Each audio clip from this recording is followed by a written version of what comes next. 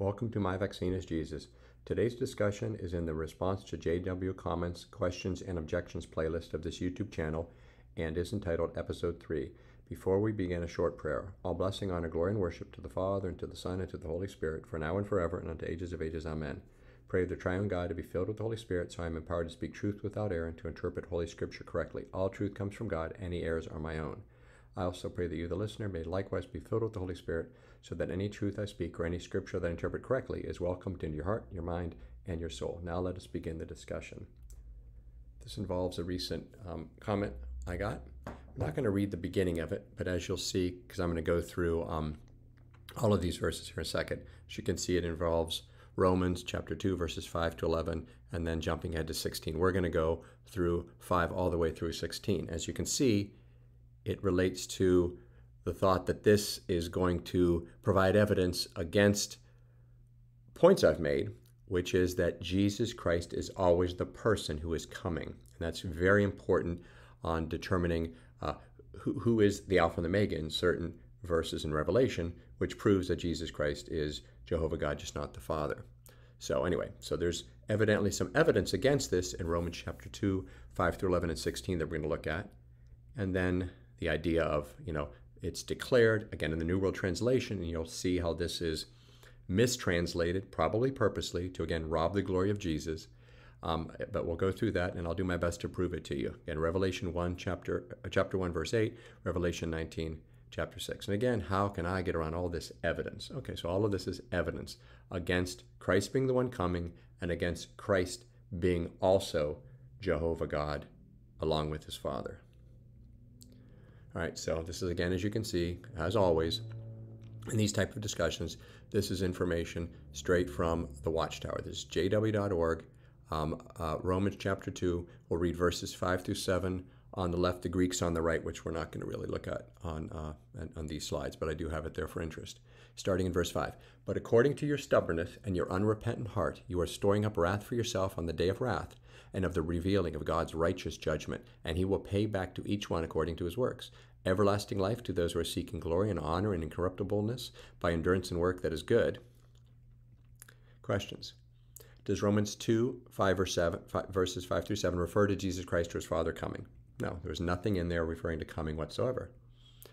Therefore, does Romans chapter 2, 5 through 7 provide any evidence that anyone other than Jesus Christ is the one coming? No. So there's no evidence in these verses. Let's continue. Again, here's 8 through 10. However, for those who are contentious and who disobey the truth but obey unrighteousness, there will be wrath and anger. There will be tribulation and distress on every person who works what is harmful, on the Jew first and also on the Greek. But glory and honor and peace for everyone who works what is good, for the Jew first and also for the Greek. Questions Does Romans chapter 2, verses 8 through 10 refer to Jesus Christ or his Father coming? No. Does Romans chapter 2, verses 8 through 10 provide any evidence that anyone other than Jesus Christ is the one coming? No. So nothing here so far. Let's continue. This is uh, uh, chapter, uh, again, 2, verses now 11 through 13. For there is no partiality with God, for all those who sinned without law will also perish without law, but all those who sinned under law will be judged by law. For the hearers of law are not the ones righteous before God, but the doers of law will be declared righteous. So again, does Romans chapter 2, verses 11 through 13 refer to Jesus Christ as Father coming? No. Does Romans chapter 2, verse 11 through 13 provide any evidence that anyone other than Jesus Christ is the one coming? No, nothing here whatsoever on the subject yet. Let's continue. Now we're going to see verses 14 through 16, and then we'll be done. For when people of the nations who do not have law do by nature the things of the law, these people, although not having law, are law to themselves. They are the very ones who demonstrate the matter of the law to be written in their hearts, while their conscience is bearing witness with them, and by their own thoughts they are being accused or even excused. This will take place in the day when God, through Jesus Christ, judges the secret things of mankind according to the good news I declare. Again, this is Paul writing to the uh, early church in Rome, or the congregation in Rome. Now, pay attention to this, we'll get to it later. Verse 16 This will take place in the day when God, through Jesus Christ, judges the secret things of mankind according to the good news I declare. Questions Does Romans 2 14 through 16 refer to Jesus Christ or his Father coming? No. Does Romans chapter 2 14 through 16 provide evidence that anyone other than Jesus Christ is the one coming? No. As per Romans 2 16, when will be the day that God judges the secret things of mankind, you know, the sins, through Jesus Christ? uncertain sometime in the future. Please remember that. So, does anything in Romans chapter 2, verses 5 through 16, we went through all the verses brought up as evidence, provide any evidence that anyone other than Jesus Christ is the one coming? No. So, I'm not sure what all of that information is. Hey, it's beautiful to read scripture. There's a lot of uh, uh, biblical truths there, all right, uh, about how to live life and, and what's going to happen, how the just are going to be, the ones who are believers in Christ will not be judged by their sins, while the unrighteous will be, and of course, will, will, will suffer eternal damnation because of it. But there's nothing in here about coming. Okay, so let's continue. Now let's go into the subject. We've brought this up before. I'm going to touch on it, but the big one, which we haven't brought up before, is Revelation 19. Let's look at Revelation chapter 1, verses 7 and 8. We have the Greek on the right, which we will look at here. Okay, verse 7 Look, he is coming with the clouds, and every eye will see him, and those who pierced him, and all the tribes of the earth will beat themselves in grief because of him. Yes, I am. So he's coming with the clouds. In the Greek, erchete metato nephelon. Okay, he's coming with the clouds. We know who that is. That's Jesus Christ. And if you need more proof that it's Jesus Christ, it's he was the one who was pierced. Those who pierced him, he was pierced, right? Afton exekentisan. Exekenti. Okay, so we know this is Jesus Christ. This is just another thing showing he's the one coming, coming with the clouds. Okay. Next verse. Next verse. I am the Alpha and the Omega. Eroimito Alpha Keto Omega. All right. If you're just reading this and you're not told what it means, they're mentioning him coming with the clouds. You know it's Jesus Christ. It's most likely going to be Jesus Christ speaking, not necessarily, of course, right? Um, again, in the English on the uh, left, verse 8, I am the Alpha and the Omega, says Jehovah God. That's what the Watchtower put in there. The one who is and who was and who is coming, the Almighty. There's the clue. He's the one coming, o erhomenos. Now, here's the, that's Jesus Christ. Please, again, there's no evidence here. Everything in the Bible, in the New Testament, refers to Jesus Christ being the one who is coming. That's what we're talking about. Who? Who is a person? Who is not a, a, a reason? So if he's coming in the name of his Father, it's still him who is coming. The one who is coming is Jesus Christ. So it says there, who is coming? That's Jesus Christ. So right there, that destroys Watchtower theology. Who is coming is Jesus Christ. Notice who's speaking. Who's who is coming? That's the Alpha and the Omega. That's Kyrios Theos, right? God. That's the Oon, that's the o Pantocrator, the Almighty, the one who is, uh, etc. Now they call it Jehovah because they have to call it Jehovah. Because otherwise, if they would uh, translate it in context, right, what would they be saying? Oh, that's Jesus. But then Jesus is saying he's God. Uh oh, our theology is false. We can't have that. So that's why they put in Jehovah. Now, I've spent some time on this in other um, discussions, so you can go check that out where I, you know, reference the Septuagint and go into the Oon and other things. So I'm going to go to the other verse right now. Uh, first, some questions though. Throughout the entire New Testament, the Gospels, the Epistles, Revelation, who is the one coming? Jesus Christ. In every single instance, yes. Who is coming with the clouds in Revelation 1, verse 7? Jesus Christ. Considering all of this, who must be the one who is coming in Revelation 1 8? Who's also described, however, as the Alpha and the Omega, Lord God, Kyrios Theos, the one who is, O On, and the Almighty, O Pantocrator. It has to be Jesus Christ. I'm sorry. Now let's, because it gets better. Revelation 19. verse 6, verse 7, Greek on the right. And I heard what sounded like a voice of a great crowd, and the sound of many waters, and like the sound of heavy thunders. They said, Praise Alleluia. Right? Alleluia means praise to God. Alleluia because Jehovah our God, the Almighty, has begun to rule as king. Let us rejoice and be overjoyed and give him glory, because the marriage of the Lamb has arrived and his wife has prepared herself. So notice, Kyrios Theos, the Pantocrator, the Almighty, has begun to rule as king, right? Now notice the next verse, it talks about uh, the Lamb, to Arniu, Arniu. Again, you have one verse saying Kyrios Theos is ruling as king. The next verse talks about the lamb about to get married. You know, don't kings, when they become king, have their queen? I mean, it, you know, again, by context, there's a connection right there to the lamb, who we know is the Son of God. Okay? And he's begun to roll Ibasiluen, Ibasilusen, okay? Uh, but again, they put in, and it's the marriage that oramos. By the way, you have monogamy, you know, that refers to marriage. Monogamy, one marriage, right? Monogamy. So oramos is the marriage. But again, they put in Jehovah, just as Kyrios o Theos.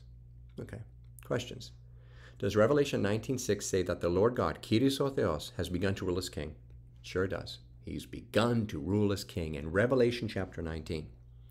Does it also describe him as the Almighty or Pantocrator? It does, you saw it. He can only be either the Father, but there is another option, right? Could be the Son. Now, you don't believe it's the Son, but it could be, right? Right? The next verse it talks about the Lamb, just like in Revelation 1, the previous verse it talked about the one coming in the clouds who was pierced. So please just be intellectually honest. It could be. It doesn't say the Father there, just says Kyrios o Theos. So which Lord God Almighty, Kyrios o Theos o Pantocrator, is he? That's the question. So the whole point is he has begun to rule as king in Revelation 19. So who is ruling in king in Revelation 19? Let's put all the Bible together. Again, this is all Watchtower. Okay, 1 Corinthians chapter 15, no Greek. Verses 20 on the through uh, 23 on the left and verses 24 to 28 on the right. Let's read it and pay attention. But now Christ has been raised from the dead, the first fruits of those who have fallen asleep in death. For since death came through a man, resurrection of the dead also comes through a man. For just as in Adam all are dying, so also in the Christ all will be made alive. But each one in his own proper order. Christ the firstfruits, afterwards those who belong to the Christ during his presence. Next the end. This is important. Next the end, when he hands over the kingdom to his God and Father. Ooh, so at the end is when he hands over the kingdom to his God as Father. So if he hands over the kingdom, what, is, what, what does that mean? He had it, so he, he has the kingdom, and now he gives it to the Father, right? When he has brought to nothing all government and all authority and power, for he must rule as king until God has put all enemies under his feet. So notice, Jesus Christ is ruling as king, right? Until God has put all enemies under his feet and the last enemy, death, is to be brought to nothing. For God subjected all things under his feet. But when he says that all things must be subjected, it is definite that this does not include the one who subjected all things to him. So, so the idea is the one, so, so the ones who's not, so everything's going to be subject, subjected other than Christ isn't going to be subjected. So Christ isn't going to be subjected under the Father. So Christ is going to have everything subjected under him through the will of the Father, right? Including death, and then and only then, after death is destroyed, after death is brought to nothing, then the kingdom's transferred. So notice before death is destroyed, Jesus Christ is king. After death is destroyed, then Jesus Christ gives the kingdom to his Father.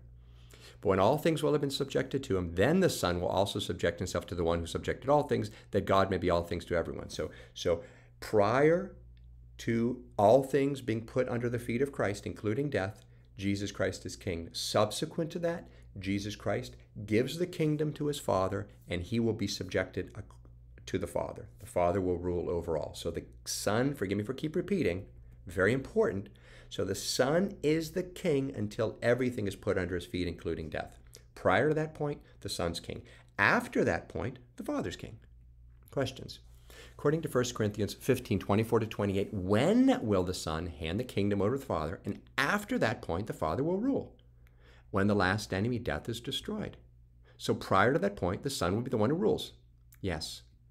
Again, prior to that point, the Son will be king. Yes. Are you sure? Yes, this is what the Bible teaches. Now, get ready. Revelation chapter 20. By the way, 20 is after 19. Verses 11 through 12 on the right, and 13 and 14 and, and 15 on the left. Uh, excuse me, on the left, and 13, 14, 15 on the right. Forgive me if I'm messing that up. On the left. And I saw a great white throne and the one seated on it. From before him the earth and the heaven fled away, and no place was found for them. And I saw the dead, the great and the small, standing before the throne, and scrolls, scrolls, excuse me, were opened. But another scroll was opened. It is the scroll of life. The dead were judged out of those things written in the scrolls according to their deeds. And the sea gave up the dead in it, verse 13, and the and death and the grave gave up the dead in them, and they were judged individually according to their deeds, verse 14. Ooh, ooh. And death and the grave were hurled into the lake of fire. This means the second death, the lake of fire. Furthermore, whoever was not found written in the book of life was hurled into the lake of fire. When is death destroyed? In chapter 20, verse 14. And by the way, notice over there at the end of chapter 12, that talks about the dead being judged, right? The dead being judged by things written in the scrolls according to their deeds.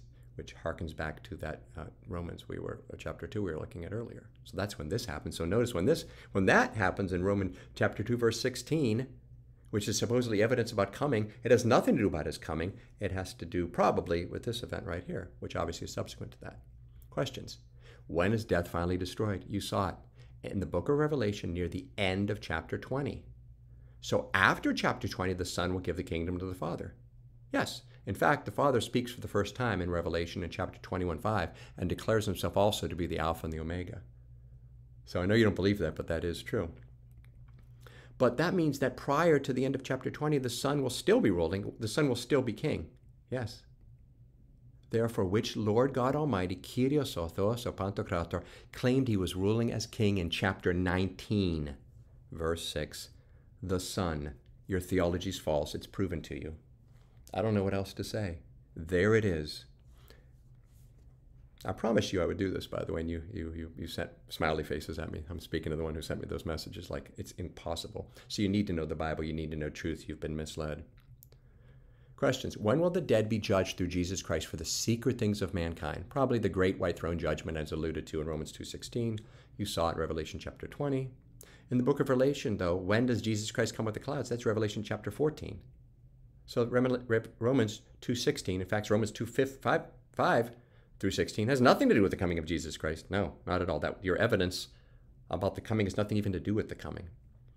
Thus, Romans chapter 2, verses 5 to 16 is not any evidence regarding the coming of Jesus Christ whatsoever. Not at all. Okay, how can you get around this evidence? What evidence? Romans chapter 2, verses 5 through 11 and 16, and I actually did 5 through 16, have nothing to do with the coming. Actually, as you saw, the the um, the the, the uh, bold bold that you did there about when God through Jesus Christ judged the secret things of mankind, that has to do with Revelation chapter 20 and the comings in chapter 14. And then I showed you Revelation 1 8, but today what I showed you was Revelation 19:6. And there's really no way around it unless you just want to call God a liar and um and you just and the and the, the, the demon won't let hold of you and i pray that that that this and other things helped you. And if it doesn't help you, I pray it helps other people who are more open minded. And my main intent is for my fellow Trinitarian Christians to be strengthened in their belief system and to understand that these heretics and cultists, uh, you know, are, are, are, very, very misled and are, are not on the way of truth whatsoever. I pray I spoke truth and interpreted Holy Scripture correctly so that this discussion might have been a blessing to you, the listener. All truth comes from God. Any errors were my own. If it was a blessing to you, I would greatly appreciate it if you could like, comment, share it, subscribe to the channel. Lord willing, we shall meet again. May the Holy Trinity bless us all.